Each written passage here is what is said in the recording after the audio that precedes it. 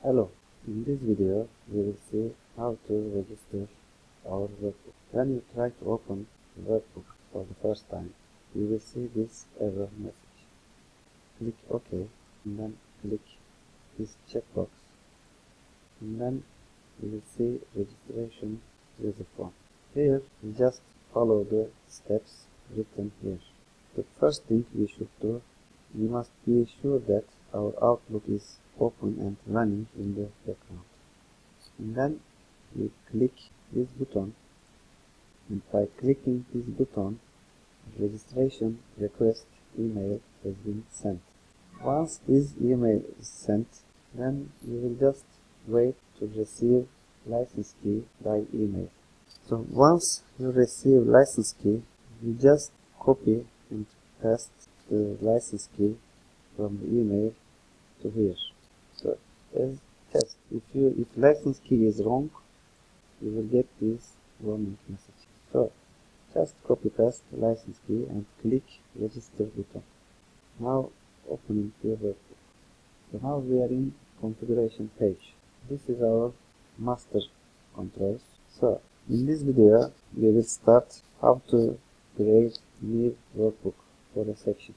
What is the logic behind?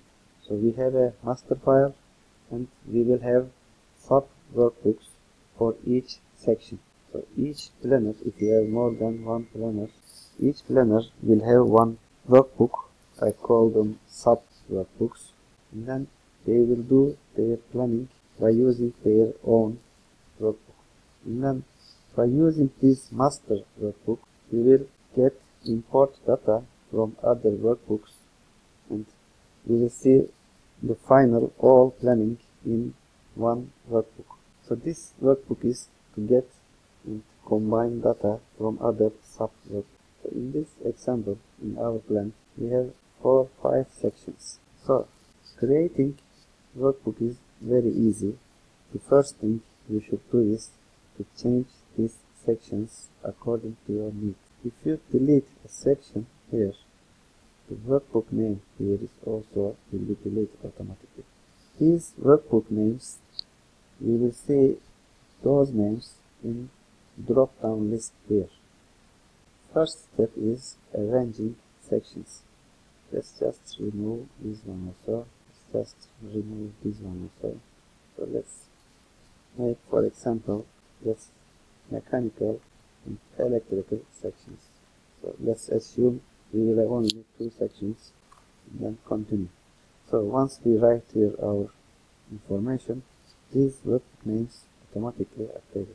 Then now we can click create new workbook and new workbook will be created in the same folder with the workbook. So let's just click create new workbook for a section.